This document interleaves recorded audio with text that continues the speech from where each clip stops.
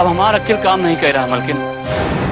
अब लखनऊ में भी तो अपन कुछ नहीं बचा है ना? तो एगो काम कीजिए। कहीं से ना जहर लाकर हमको दे दीजिए।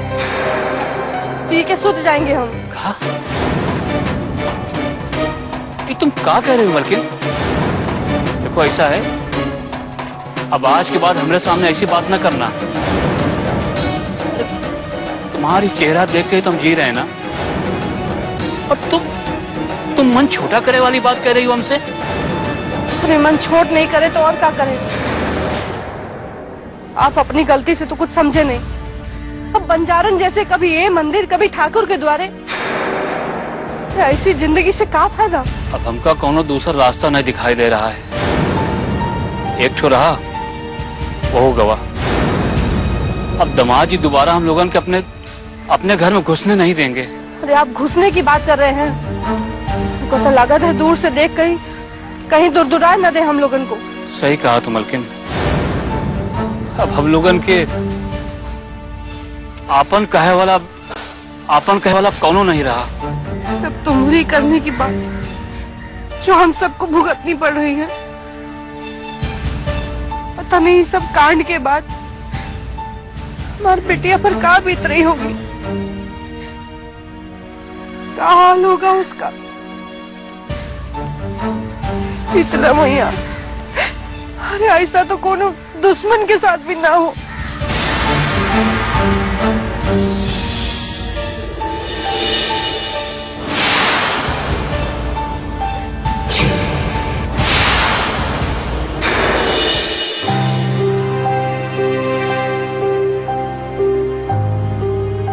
मामा जी, ये आप क्या कर रहे हैं? अरे बेटा वही बरसी का हिसाब किताब लगा रहा था खुद जो खर्चा हुआ। बरसी का तो सत्यानाश कर दिया इन सब मत याद दिलाइए उसके बारे में। एक तूफ़ान था आकर चला गया बस। हाँ बेटा। नहीं तो अब तक हम सब लोग वहीं पड़े होते सलाखों के पीछे। लेकिन वो लोग भी तो मंदिर में पड़े हैं। अरे पड़े हैं तो पड़े रहने तो मामा जी आपको जाकर सोनिया के माता पिता से मिलना चाहिए। अरे मैं क्यों जाऊँ उनसे मिल मेरा उनसे कोई संबंध नहीं है। कम से कम इंसानियत के नाते से। अरे इंसानियत का रिश्ता इंसानों से निभाया जाता है राक्षसों से नहीं राक्षस हैं वो। मामा जी ऐसा तो मत बोलिए। आखिर रिश्तेदारी का मामला है। कल उठकर कुछ ऊंच नीच हो गई तो हमारा ही नुकसान है। वैसे भी ये बात जंगल में आग की तरह फैलेगी गाँव में। जितना फैलना था फैल चुकी। अरे अब क्या फैलनी है? मुझे इन बेईमानों के बारे में अब कुछ नहीं सोचना। जिनका रिश्ता है ना वही सोचे अब। मामा जी अब अब भी चिढ़ रहे हैं। अरे तो क्या करें? नाखो चने चबवाए इन सबने। क्या क्या नहीं किया इनके लिए? लेकिन अब तो लगता है कि सब बेकार ही था। अब इन सब बातों का क्या फ़ायदा मामा जी? इस तरह से मंदिर में भी पड़े रहेंगे तो हमारी बेजती होगी।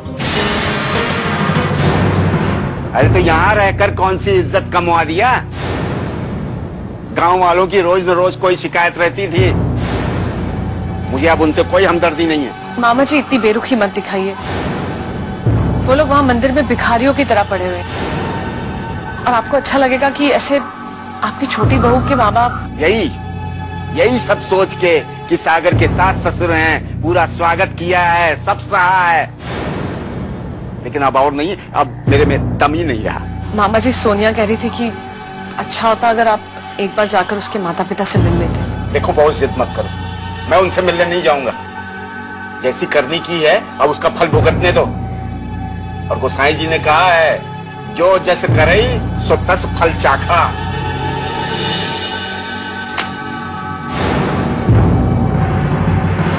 पीहर पीहर पीहर तुमका पता है मलकिन जब तुम्हारे आँख में आँसू आवत है ना तो हमरे करोजे में, हमरे करोजे में खून चुवत है आप ही बताइए, रोए नहीं तो क्या करे? हमारी सोनिया बिटिया, माँ माँ कहकर हमको खोजत होगी। और हम हमार हमार मन भी सोनिया के लिए तड़प रहा है यहाँ पर।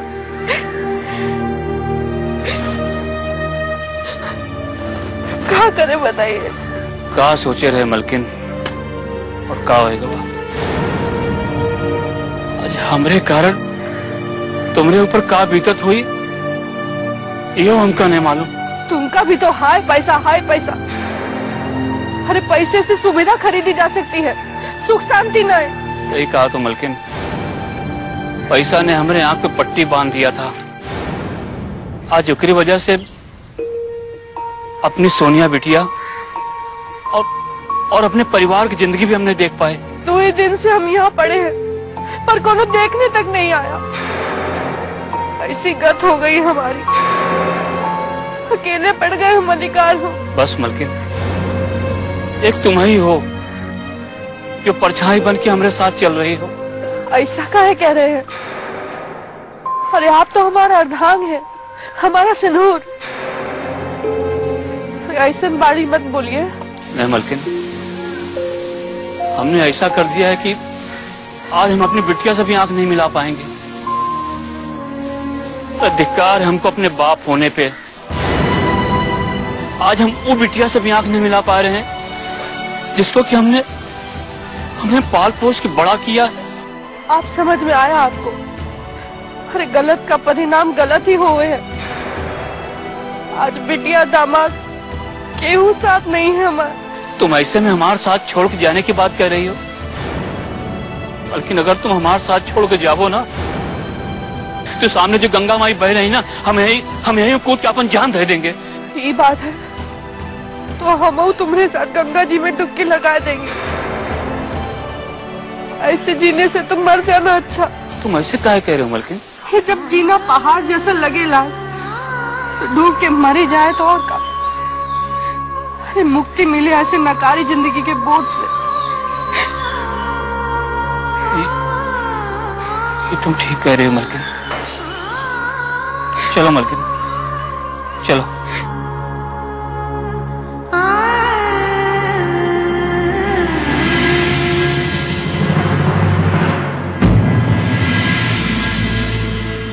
पता नहीं मम्मी पापा अभी मंदिर में हैं या चले गए? कुछ कुछ खा पी भी रहे हैं या नहीं? कई लोग उनको भिखारी ना समझ रहे उनको तो छत भी नसीब नहीं हुई। अभी तक कोई भी खबर नहीं आई है। पता नहीं कैसे होंगे वो लोग। हे भगवान उनकी मदद करना। अरे सागर की दुल्हन कैसी हो? हाँ मैं ठीक हूँ लेकिन आप कौन? और आप मुझे कैसे जानती है? अरे हम तुम्हारे पड़ोस में रहते हैं। और तुम हमें जानो या ना जानो पर हमें सब पता है कि तुम सागर की दुल्हन हो है ना? अच्छा एक बात बताओ। क्या तुम्हारा कलेजा पत्थर का है?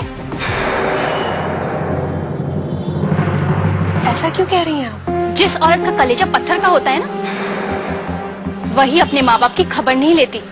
कहना क्या चाहती हैं यही। तुम कुछ नहीं समझ सकती ना? अरे तुम्हारे माँ बाप वहाँ मंदिर में पड़े खाक छान रहे हैं। और तुम यहाँ ठाट कर रही हो। तो फिर मैं क्या करूँ?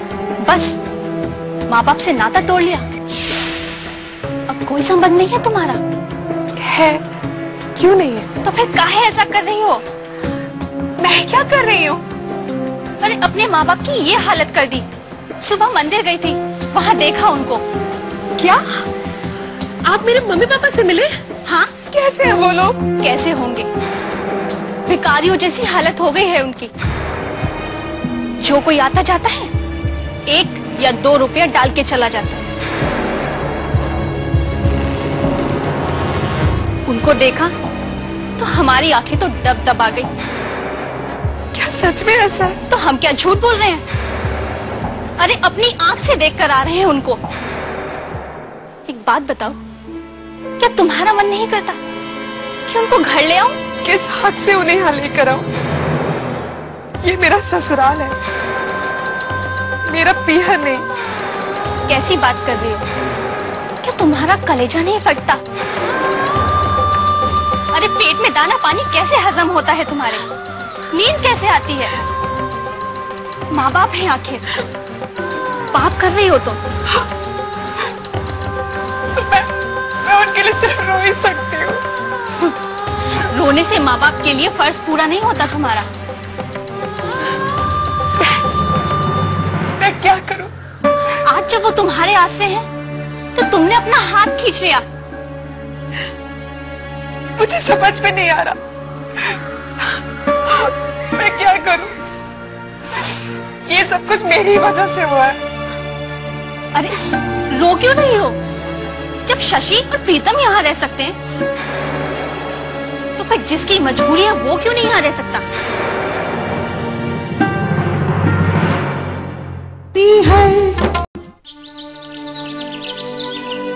जो होना है वही होते है। क्या हुआ? कहाँ जा रहे हैं? महाराज, सब मोह माया छोड़ के जहाँ से आए थे, अब अब वहीं वापस जा रहे हैं। अच्छा घर जा रहे हैं। अच्छी बात है। वैसे आजकल के पूत पूत नहीं, कपूत होते हैं। बुढ़ापे में माँ बाप को घर के किसी कोने में जाके छोड़ देते हैं। या तो किसी वृद्धाश्रम में ले जाके छोड़ देते हैं। ऐसी बात नहीं है। ना ना कुछ ना कहो हम सब समझ गए थे। कि तुम अपने बेटे से रिसिया के आए हो। बहुत पारखी नज़र है हमारी। हम तो चावल के एक दाने से पता कर लेते हैं कि भात कितना पका है और कितना नहीं। चलो अच्छा हुआ जो वापस जा रहे हो। सब हरि की इच्छा से होता है। महाराज ऐसी बात नहीं है। ना ना हम सब समझ गए। पहले घर जाके एक काम करना अपने बेटे को क्षमादान दे देना सब सही हो जाएगा। नहीं पुजारी जी आप नहीं समझेंगे। क्या? अरे पुजारी जी हमारा इस संसार में कौन हो नहीं है? हम निपूती है। ऐसा नहीं हो सकता। शिव शिव बोलिए। क्या कोई बच्चा नहीं है क्या आपको? हमारा कोनो लड़का नहीं है।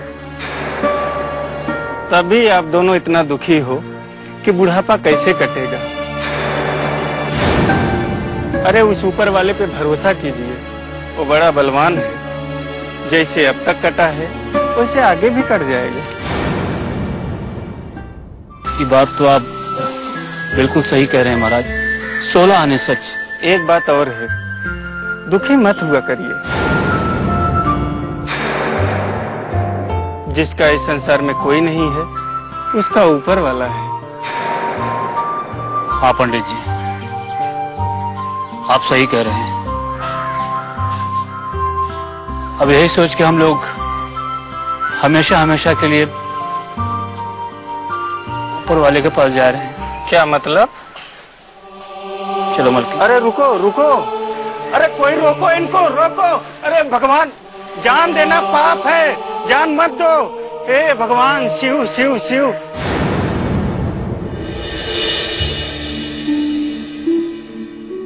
सागर मुझे अभी बरामदे में बुढ़ासन मिली थी। अरे सोनिया तुम मुझसे बात मत करा करो। और जितना हो सके उसे अवॉइड करो वो वो अच्छी औरत नहीं है। मैं समझती हूँ। लेकिन सागर आज वो मंदिर गई थी। अरे वो पूरा दिन तो गाँव में घूमती रहती है मंदिर चली गई तो कौन सी नई बात हो गई? नहीं सागर आज वो मम्मी पापा से मिली थी। और मुझे बता रही थी। क्या क्या बता रही थी? क्या बताएगी वो?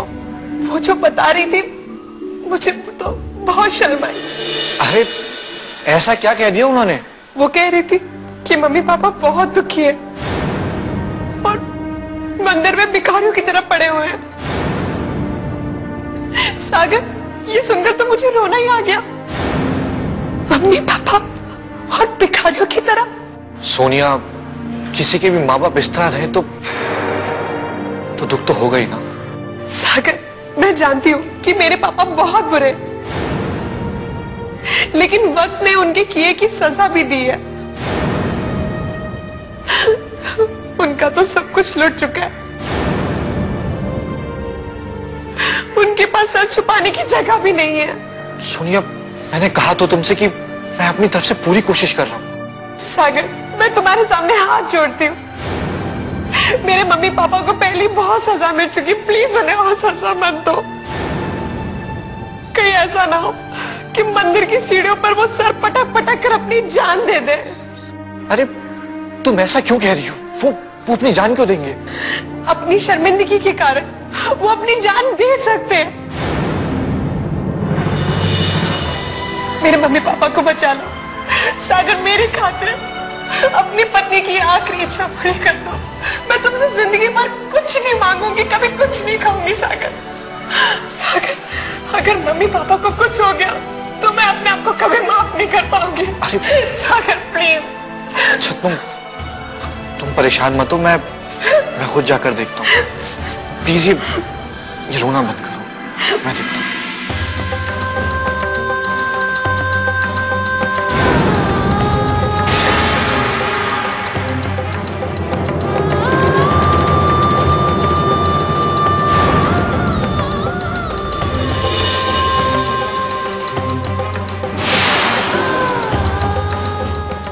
पीहर पीहर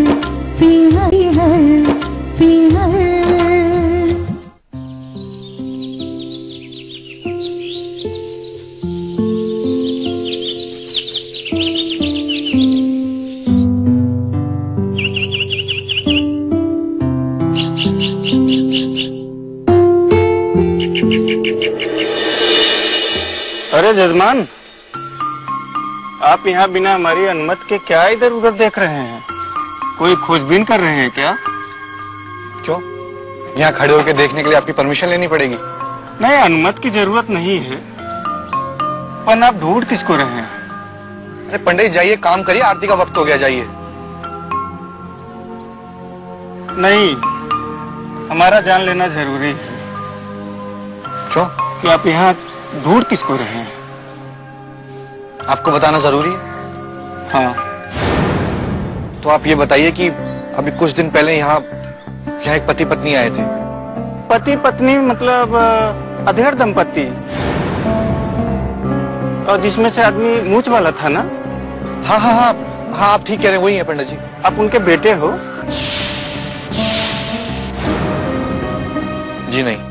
भतीजे हो गए। जी नहीं। फिर पोते हो गए? सही पकड़ा मैंने ना। अरे नहीं पंडित जी मैं पोता नहीं हूँ उनका। फिर क्या रिश्ता है आपका उनसे? कुछ तो होगा जिसके लिए आप यहाँ ढूँढने आए हो। जी मैं उनका दूर का रिश्तेदार हूँ। उनके बारे में पता चला तो तो उन्हें खोजने चले आया। शिव शिव शिव शिव। कैसे रिश्तेदार हो आप? क्यों? क्या हुआ? अब आए हो उनकी सुध लेने। दोनों बड़े दुखी थे। क्या मतलब? बहुत देर कर दी। पहले आना चाहिए था। देर कर दी का क्या मतलब पंडित जी? कुछ हो गया क्या उन्हें? कुछ हुआ नहीं पर वो लोग चले गए। कहा? बहुत दुखी थे बेचारे। यहाँ भगवान के आगे पछतावे के आग में जल रहे थे। और बहुत खिन मन से चले गए यहाँ से। लेकिन पंडित जी वो वो गए तो गए कहा? भगवान की शरण में हमेशा हमेशा के लिए। दोनों बहुत दुखी थे। दुख के कारण गंगा जल में जल समाधि लगाने चले गए। हमने उनको रोकने की बहुत कोशिश की, पर वो नहीं माने। आपने बहुत देर कर दी आने में।